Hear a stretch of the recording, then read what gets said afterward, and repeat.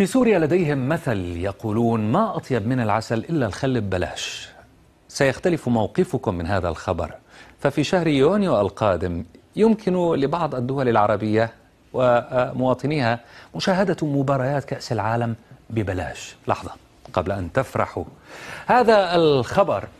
المباريات ستذاع عبر قناة آه، آه، آه، هي قناة مكان الفضائية الإسرائيلية.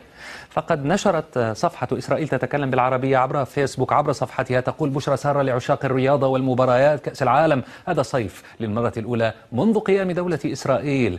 بث وقائع مباريات الكأس بالصورة والتحليل وباللغة العربية.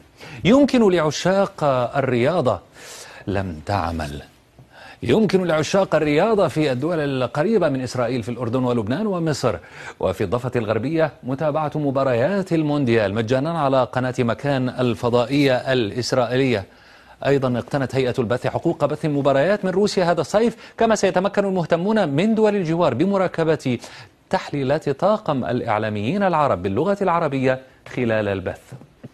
في العالم العربي عادة ما تتم مشاهدة مباريات كأس العالم آه، بالاشتراك في إحدى القنوات المشفرة ودفع نحو 45 دولارا شهريا. ليس قليلا بمقارنة بالدخول في مصر بالأردن ولبنان الضفة الغربية. لا يستطيعون مشاهدة هذه المباريات. المشاهد العربي مهتم الآن بكأس العالم هذه المرة ليس فقط لشعبية كرة القدم بل بسبب تأهل كل من مصر والسعودية والمغرب وتونس. لنأتي إلى التغريدات. فغاد آه، عامر غردت إسرائيل تزف البشرى لعشاق الكرة من دول الجوار الأردن لبنان مصر أنهم سيكونوا باستطاعتهم مشاهدة مباريات كأس العالم. مجانا على قناة مكان الإسرائيلية بتعليق عربي. أنت طبعا ضد التطبيع مع إسرائيل